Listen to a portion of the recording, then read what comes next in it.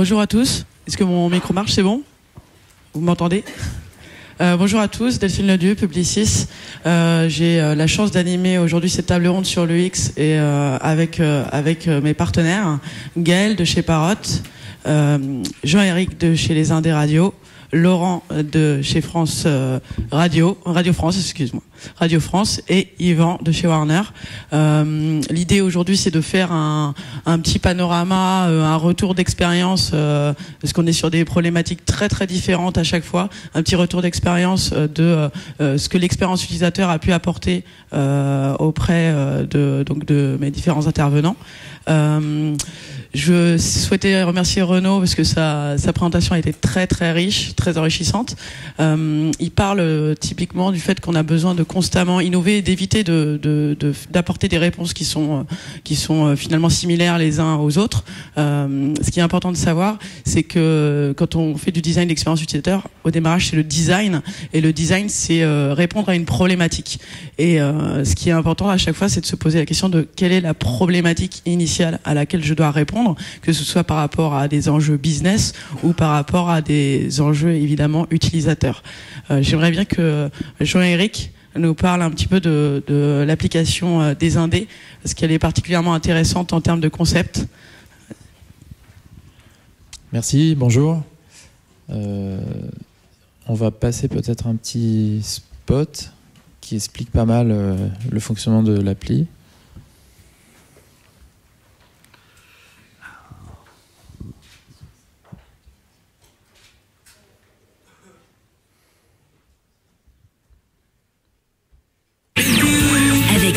Des radios, découvrez le mur du son. Visualisez et écoutez en temps réel vos titres préférés, diffusés sur plus de 120 radios indépendantes. Nouveauté, la Social Radio. Échangez et partagez avec votre radio via Facebook et Twitter. L'appli Les Indés Radios, 100% gratuite. Merci pour la vidéo. Euh, alors, notre, problématique, c'était... Notre problématique, c'était... Euh, de, de rassembler 120 euh, radios, puisqu'en fait, euh, on a créé il y a quelques années un groupement d'intérêt économique dont la, la, mission au départ était surtout publicitaire, et on ne pouvait donc laisser aucune radio de côté. Et euh, l'écueil, c'était évidemment d'avoir des, de pas de pas avoir des grandes listes de radios, etc.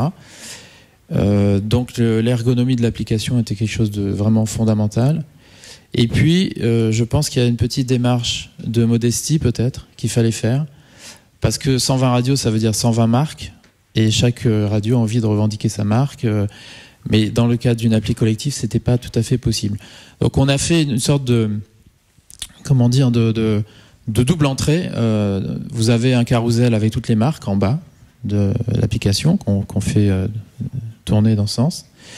Et puis vous avez la partie vraiment principale de l'application qu'on appelle le mur du son, qui est en fait un mur de pochette. Mais chaque pochette, c'est un morceau qui est en train d'être diffusé sur une radio. Donc le point d'entrée majeur de l'appli, c'est en fait le, les disques que nous sommes en train de jouer à l'antenne, en direct à l'antenne. Et on a finalement à la fin une application un peu hybride de, radio, mais qui dans l'usage est une application de musique.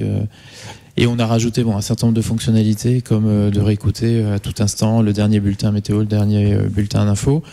C'est aussi pour exprimer le fait que ce sont des radios qui ne sont pas que musicales, elles font beaucoup d'autres choses que la musique. D'accord. Euh, toi, tu travailles euh, pour les artistes de, Warner, donc tu es dans des problématiques très différentes. Euh, typiquement, euh, je pense à ça parce qu'on parle des pochettes et donc forcément la direction artistique qui lit les artistes, c'est pour ça que ça me fait rebondir dessus. Aujourd'hui, ton travail, c'est avant tout d'engager les fans des artistes. Comment ça se passe? Comment ça se passe? On, compose avec une palette assez large aujourd'hui de, services et nous on essaie de s'intégrer dans dans ces différents choix, de ces points de destination. Euh, au sein de mon équipe, on, on design et on développe en, interne les, sites des artistes notamment. Et un des mots d'ordre, c'est la simplicité, mais j'aime aussi cette idée de, donner du sens. Euh, nous, quand on design un site, on pense d'abord à, à l'artiste aussi en tant que avec une approche créative, puisqu'il vient, vient un environnement. Nous, l'intérêt d'un site aujourd'hui, quand on le développe et quand on le, on le propose, c'est d'être un peu le, référent euh, pour l'artiste. Et dans le mot de sens, j'aime aussi l'idée de redirection, puisque nous, on n'a pas forcément une vocation de, de média à proprement parler ou de flux, de proposer euh, de la programmation, mais plutôt euh, d'accueillir les, fans, de proposer soit des interactions, de la conversation, des forums, mais surtout de leur donner accès à toute la variété de moyens d'accéder à la consommation de la musique de leur artiste ou au concert, en renvoyant euh, vers nos partenaires billetterie, en renvoyant vers les distributeurs, en renvoyant vers les streamers, en renvoyant vers les radios quand on a des partenariats avec eux sur des événements. Donc c'est un peu ce rôle de passerelle et de référencement et de contenu. Mais le sens est vraiment important. Et l'expérience utilisateur, pour nous, elle a aussi un attrait d'image parce que euh, on est moins dans le service en tant que label, même si on opère au sein de Warner de la vente directe aux consommateurs. Donc là, on se frotte un peu de manière expérimentale à, la, à aller au bout de la chaîne. Mais d'abord, nous, c'est l'image et que les gens soient, se sentent engagés. Et il y a plein de choses pour le, pour le faire, on pourra en parler, la gamification, l'audiovisuel, le live, il y a beaucoup de choses qui permettent d'aller vers plus d'engagement, mais toujours avec un parti pris de simplicité extrêmement fort et le mobile comme un prisme extrêmement important. Puisque par exemple, nous, on a arrêté de faire des applications natives depuis quelques mois, voire quelques années, et on est vraiment sur des sites responsives maintenant comme euh, principe de base. Alors que sur les radios, j'imagine qu'on pourra en parler, euh, l'intérêt d'une application, plus pour des logiques d'accès, reste encore très important. Justement, ça me permet de, de rebondir auprès de Laurent. Euh, Est-ce que tu peux nous parler un petit peu de, de, de l'application Radio France, s'il te plaît?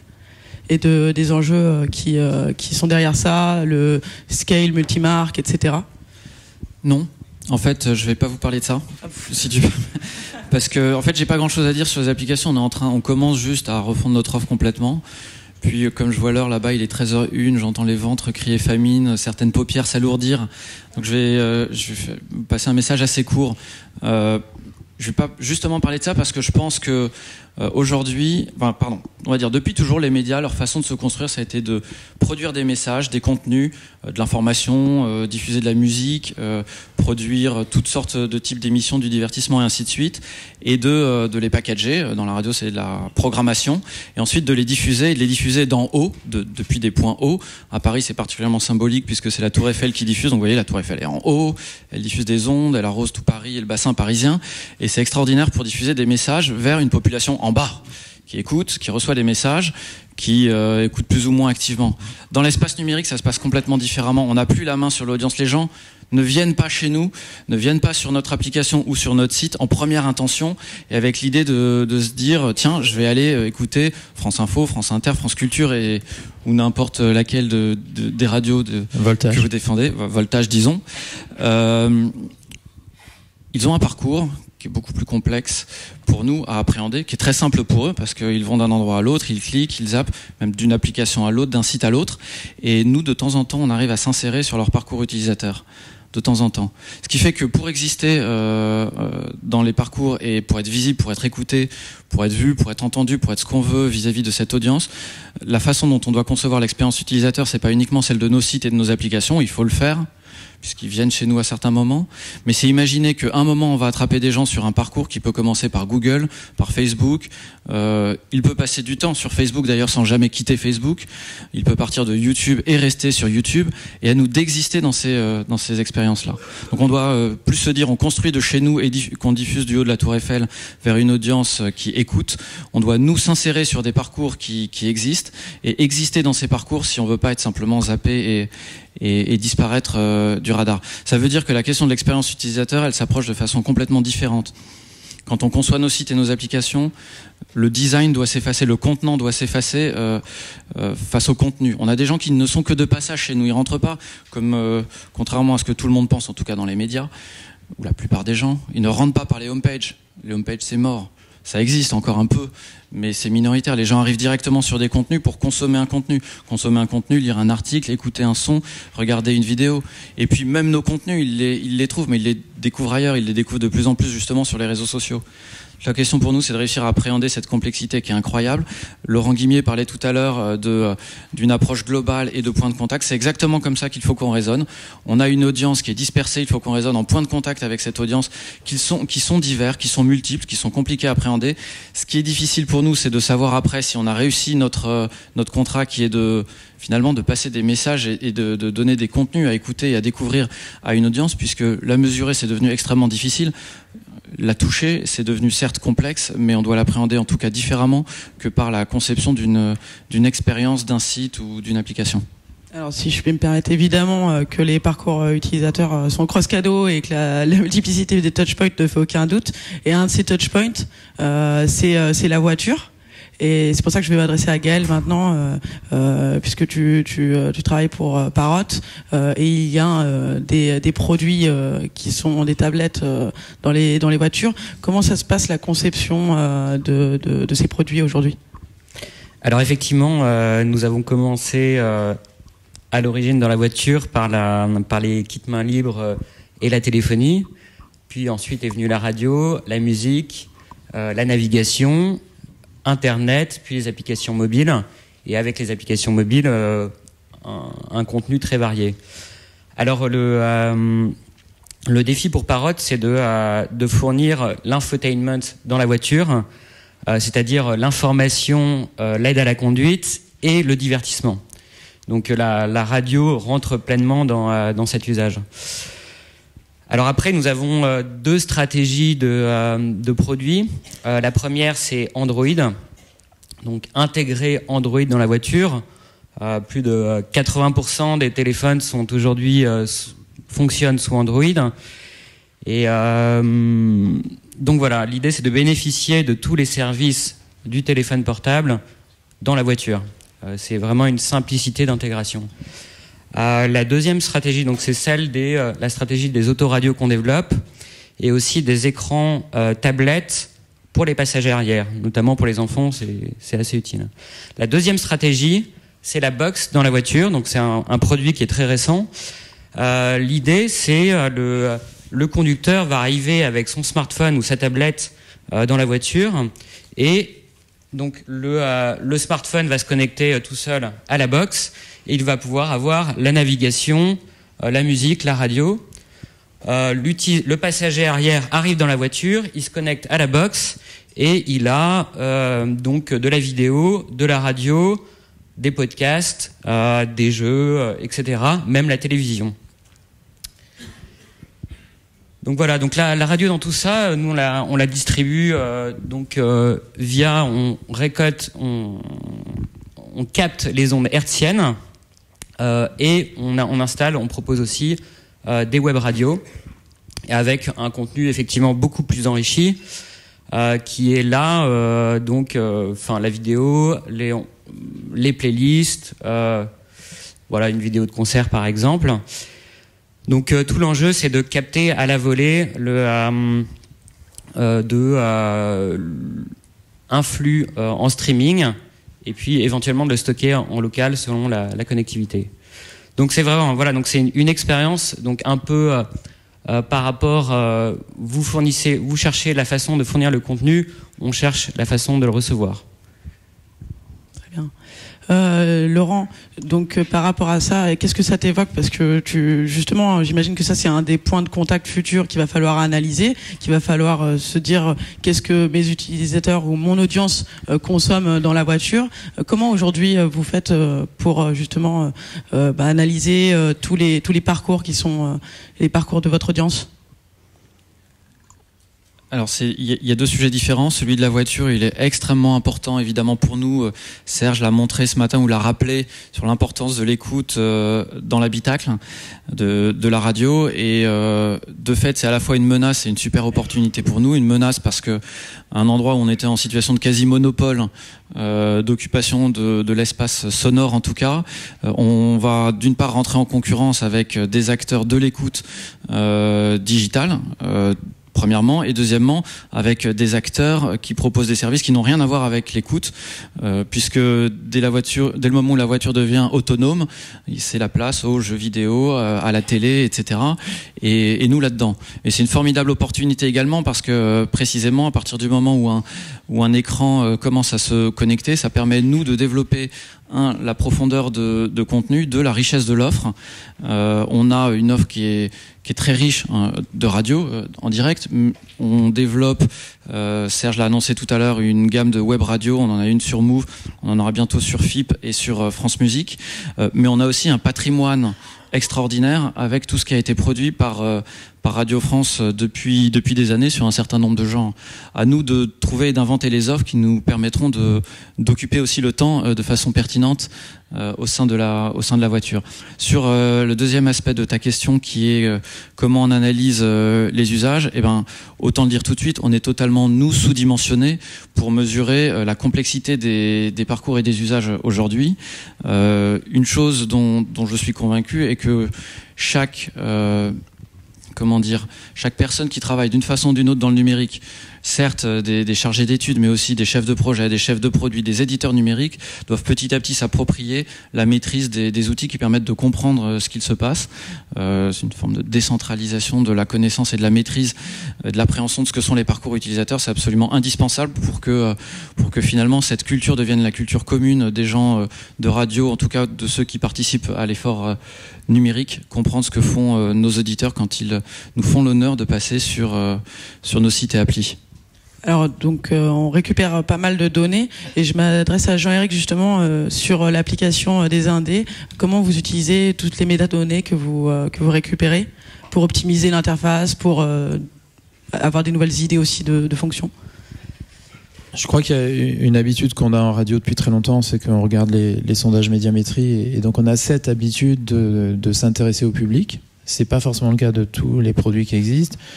Euh, on s'intéresse aussi pour beaucoup de radios euh, à la musique qu'on joue avec la recherche musicale. Et du coup, euh, la différence qu'on ressent avec des applications, c'est qu'on a toutes ces données un peu en temps réel. Donc ça, c'est un peu nouveau. Et on regarde dans toutes les propositions qu'on fait sur notre appli, lesquelles il faut garder, lesquelles il faut arrêter, en fonction de l'usage. Alors, dans l'appli des Indés Radio, le, le, mur du son, c'est ce qui est consulté à 90% de l'appli. Euh, mais je crois aussi qu'il ne faut pas être premier degré. Il y a d'autres fonctions dans, dans, cette appli. Je vous invite d'ailleurs à télécharger ceux qui l'ont pas.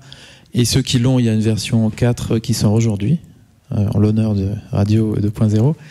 Euh, ça tombe bien. Et euh, donc on, on, garde aussi quand même un certain nombre de fonctionnalités qui sont pas les plus euh, les plus utilisées parce que ça, ça contribue un peu à, à la fois à la richesse de l'application et aussi à des petites expériences qu'on fait un peu grandeur nature en proposant telle et telle fonction, on regarde un peu comment les gens réagissent, si ça a du sens, si euh, d'un petit embryon de quelque chose qui a l'air de rien ou qui est peu consommé, ça va devenir peut-être euh, la radio euh, de demain.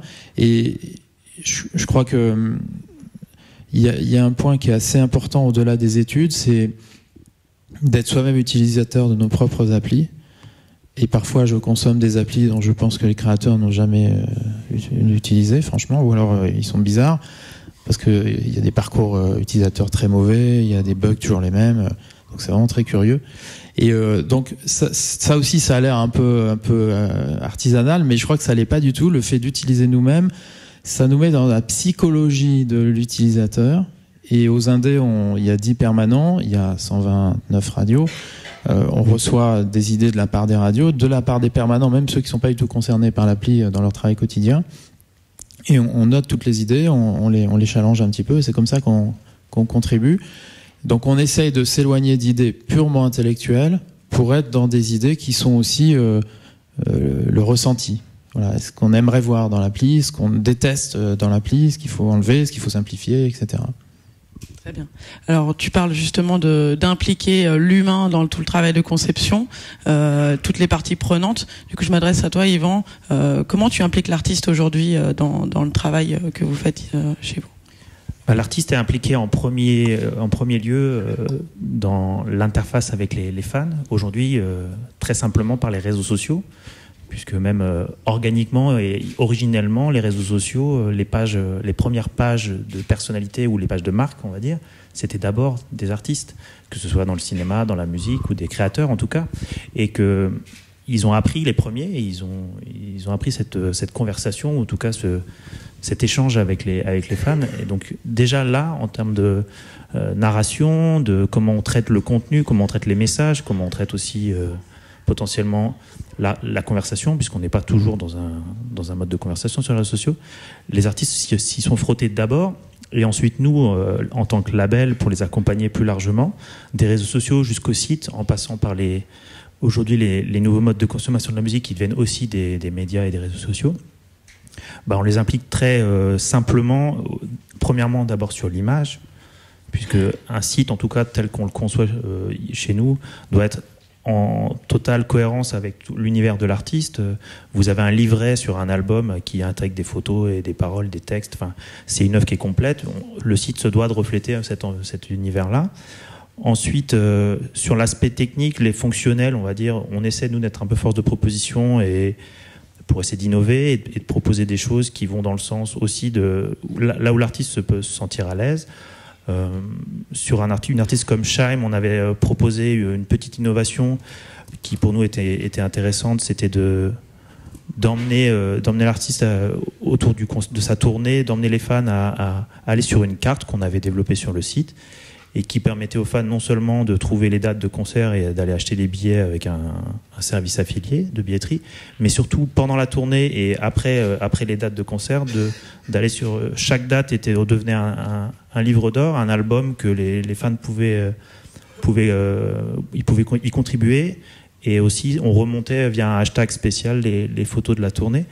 Et ça, c'est aussi l'artiste qui s'est prêté au jeu, qui en parlait sur scène. Enfin, c'est aussi par rapport à comment les, artistes ressentent leur, euh, leur communication avec les, fans et qui ils sont.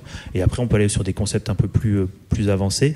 Si l'artiste est aussi féru d'innovation, on peut aller sur de, des choses autour de, de, la 3D, autour du live en 360 degrés. Il, il y, a beaucoup de choses, mais encore une fois, faisons simple, puisque aujourd'hui, on est dans un enjeu euh, où on doit faire face à beaucoup de complexité on doit intégrer beaucoup de briques technologiques, beaucoup de services.